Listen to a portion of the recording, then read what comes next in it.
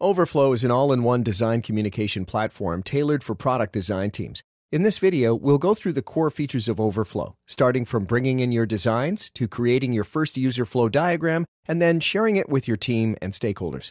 To get started, download and install the Overflow desktop app on your Mac OS or Windows device. Upon installation, the app will prompt you to set up your Overflow organization to start your free trial. Overflow seamlessly integrates with the most popular design tools to simplify the process of bringing in your designs. Let's see how the integration works in Figma. You can access the Overflow plugin from the Plugins menu.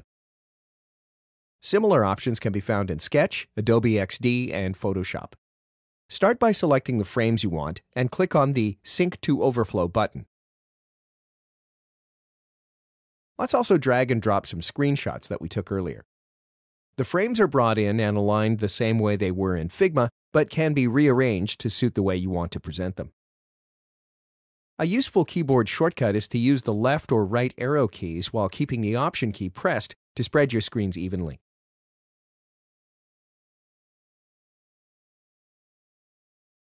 You can add device skins and optionally trim any long screens to improve visual consistency. Because design layers are carried over, it's easy to quickly draw connectors from them to other screens. This saves time from creating hotspots over interaction areas, although this is still supported, for example, on top of imported screenshots. Let's double-click and add some labels to make our flow clearer. You can add labels to any connector or shape. For example, let's add a diamond shape.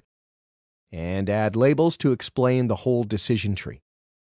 Overflow makes it easy to use your own styles for just about anything device skins, connectors, labels, shapes, and more. In case you want to achieve a more collaborative result, Overflow allows you to add your teammates as editors to your document so they can add to your work. Once you've created your beautiful user flow diagram, you can present it in one of three ways. The first one is Canvas View. This is an automatically generated interactive version of your user flow that makes it very easy to follow the user journey. You can click on Connectors or use the arrow keys to navigate through your diagram.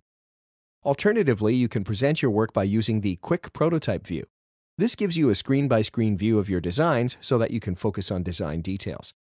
Lastly, you can create an overflow story to share a step-by-step design walkthrough of your work. All you need to do is create scenes that will serve as focus points for each step of the presentation and add prompts to provide your audience with more context. Your audience can navigate easily using the arrow keys and follow your design story at their own pace. This way, you can conduct design critique asynchronously without unnecessary meetings or emails. When it comes to sharing, you can export your user flow in PDF or PNG formats or printed on multiple sheets of paper that you can stitch together to put up on a wall. You can also embed it in popular collaboration tools such as Jira, Confluence, Trello, and more. One of the most popular ways to share is via publication link. Publication links can be passphrase protected and are easy to distribute among your team and stakeholders. Anyone with the link can view both the presentation and the quick prototype mode in their browser, either on their desktop or mobile device. Recipients don't need to have Overflow installed.